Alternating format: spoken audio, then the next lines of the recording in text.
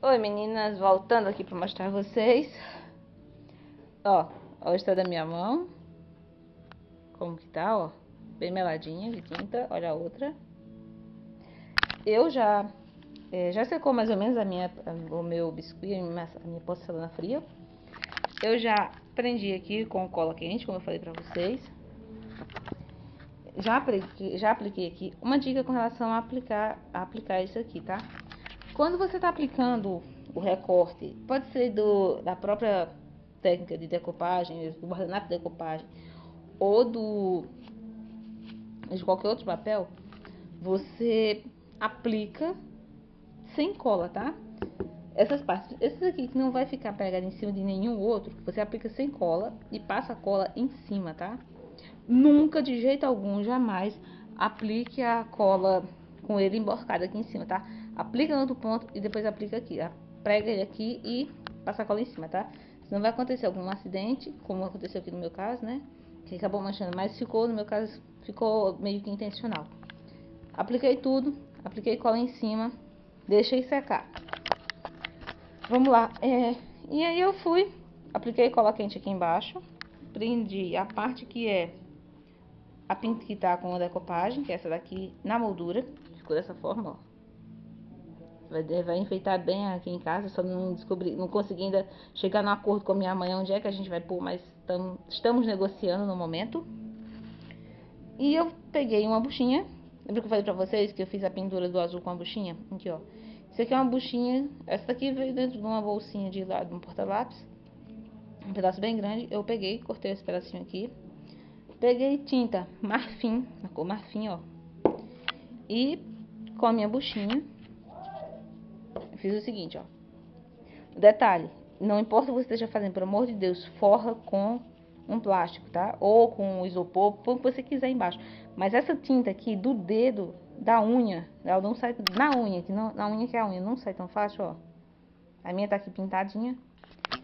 É, da mesa, não deixa, tem que forrar para proteger, para não ter perigo você nem destruir a toalha da mesa, nem manchar a madeira. Toma cuidado, tá? Você vai vir com a esponja, ó. Pega, pega a tinta quantidade que você quiser e vai, ó.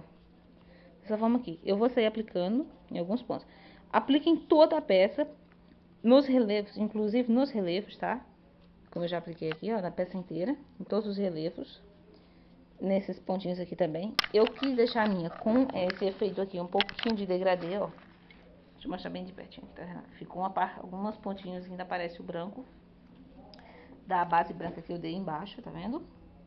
Optei por deixar dessa forma. E eu vou fazer um conselho da minha mãe. Eu vou aplicar glitter. Como aqui a gente, eu não tenho, onde eu moro, não temos é, um glitter li, mais líquido, que eu vi na técnica original, como aqui a gente não tem esse glitter, não tem esse material, eu peguei esse glitter aqui, que é um glitter escolar, normal. Você procura aquele mais fininho, tá? Que você tiver. Ou então, se você quiser, você aplica sombras de borboleta. Sabe aquela sombra que você não usa mais, que já tá bem, já tá vencida, que não tá mais prestando? Você vai fazer da seguinte forma. Você vai pegar um pincel e cola branca.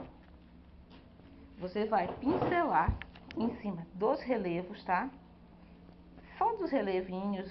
Eu, no meu caso aqui, vou botar em cima dos relevos e em cima das dessas terminações aqui do acabamento e nessa parte interna aqui da moldura inteira. E vou aplicar glitter. Passei cola, vou com o dedinho no tubo de glitter e vou dando batidinhas em cima do que eu quero. Agora eu posso aplicar direto na tinta? Não, não vai segurar, tá? Isso eu digo a vocês, isso eu garanto, eu já tentei.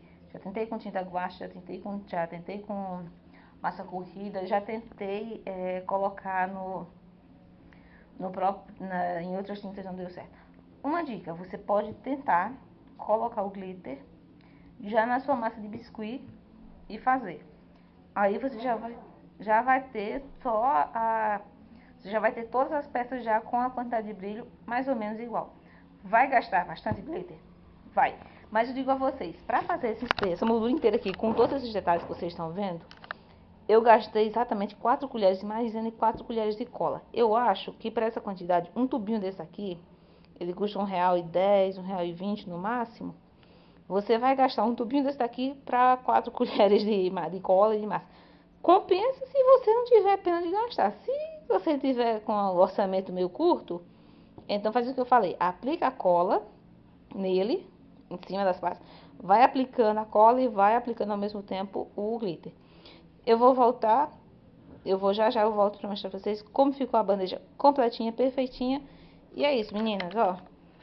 Eu adorei o efeito e com certeza. Ah, um outro vídeo que a próxima semana já vai ser ensinando a fazer o pedestal pra gente colocar ele em exposição.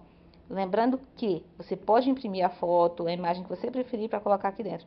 Eu coloquei essa aqui porque deu vontade, mas eu poderia ter colocado na foto da família o que eu quisesse aqui, tá? Fica com Deus. Outra coisa, que já estava esquecendo.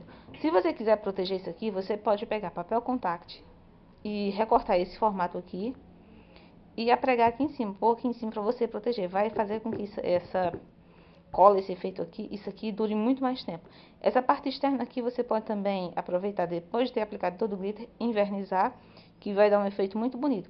Pode aplicar só o verniz aqui em cima, mas eu, se você quiser, realmente você pode passar, botar o papel contact aqui em cima, só na pintura, tá? Não põe aqui em cima que não vai dar certo, tá? Só nessa parte de pintura e isso vai ficar muito bonito, tá? Gostou? Já sabe, se inscreve no canal, compartilha o vídeo, favorita e passa pra frente mais conhecimento, mais novidade. Até o próximo vídeo, meninas!